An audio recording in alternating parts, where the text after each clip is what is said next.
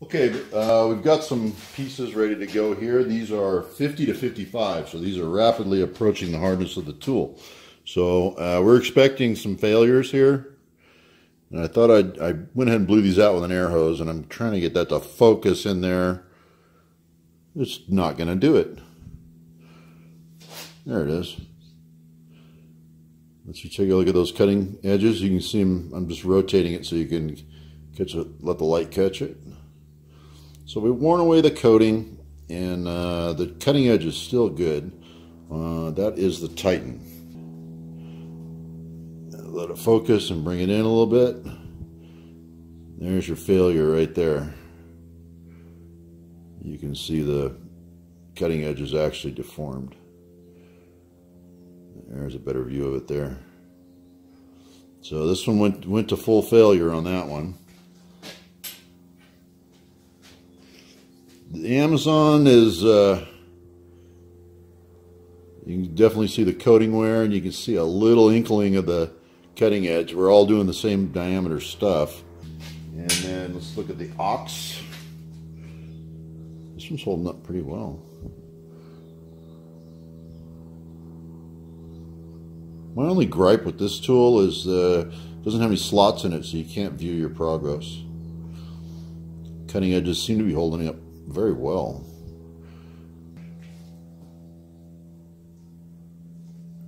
We're just barely getting through the coating. Cutting edges still look pretty darn good, and we got more of them. So your, your tool pressures can be a little lower to get the same result. Okay, um, like I said, 50 to 55 Rockwell. We're going to get these clamped in and run it again. Okay, on to the Titan, 50 to 55. Uh, let's roll with it. Considerably more pressure to get to break through, but we're getting it. Okay. You know, and I haven't even considered this, but a small amount of cutting fluid would uh, probably aid in all this. But all things being equal, we're going to keep it dry. Yeah. But a, a, little bit of uh, cutting lubricant might add to your tool life. Might make a mess too. But, uh, but in the field, they're going to do that, right? Yeah, we we pretty much killed this Uniburr in the last one, but we're going to go ahead and run it in. And the thing about a chamfer tool like this, or even a even a countersink, you know, if you wear it out in one spot, it's still good for some other spots. So even if you kill this for half inch, you'd probably be fine on three eighths or or something else. So, anyways, let's uh, same technique, same everything. She's squealing already. I'm pushing pretty damn hard. That's all I got for pressure. Yeah. Yeah, that tool's done on half inch. That Uniburr's not going to go anymore. And Amazonian.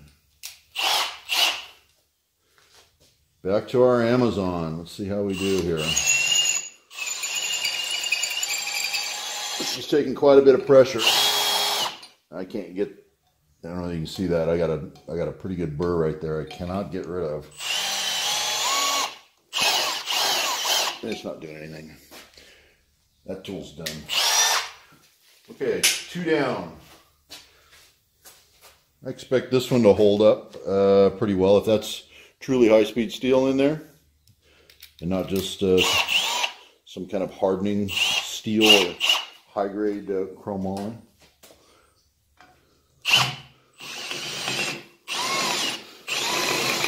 Sure Pretty jumpy. Oh, it's got a got a burst, an up sticker right there. Holy moly.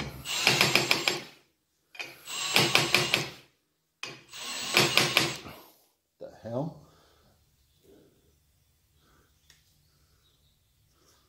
Tool's okay.